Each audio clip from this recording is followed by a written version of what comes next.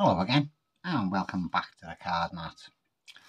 Now, this is a move I never use, the, the snap change. I never use it, so I'm no good at it. So I'm not going to try and teach you how to do it. Thank God for that. But what I am going to try and do is show you different handling to it. As you know with the normal snap change, you keep hold of the packet, you pick the cards up, all nice and square as one, you show them, and then you do a snap to get that card behind put it on the packet behind this card and you're nice and clean with the one card. Only drawback is yes their card ends up on the top so if they want they have a quick look at the packet or the top card well that's their card isn't it? Yeah. Um, so you know how to do that one. The slightly different handling again you still need to get your double pick up on your cards but this time put your packet down I'll show you two different ways of doing this.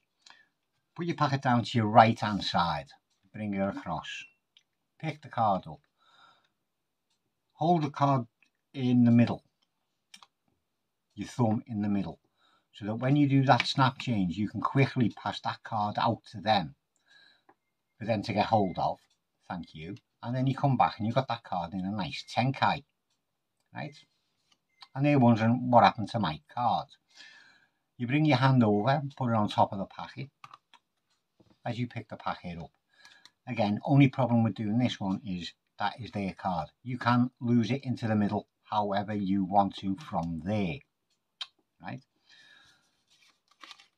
Other way of doing it, and it's exactly the same handling. So if you can do the snap change, you can do these. It's just different ways of doing it put the packet down to the left hand side. Now this gives you a little kind of an effect.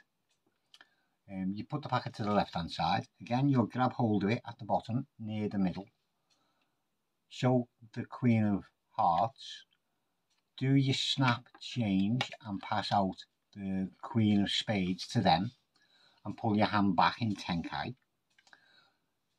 Grab the packet but turn it to its side.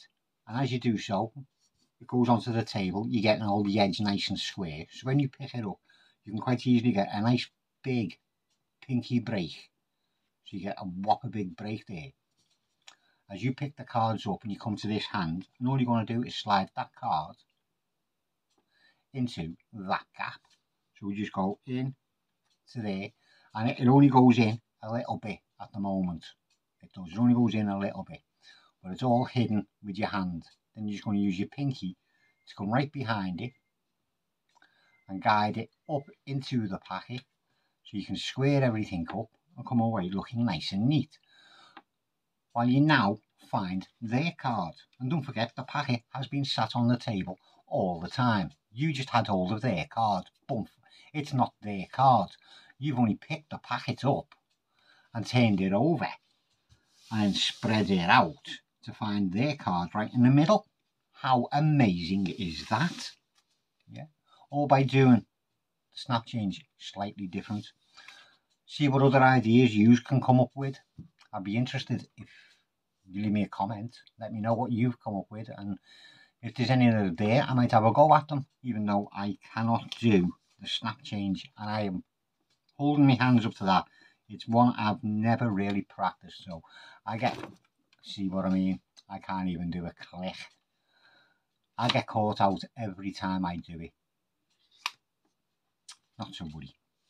Anyway, I'm going to shut my face and get off. Um, they were my problems. I do hope you enjoyed it. As I say, give it a go. See what you can come up with. And if you do come up with something, please let me know. Um, I'll see you again soon.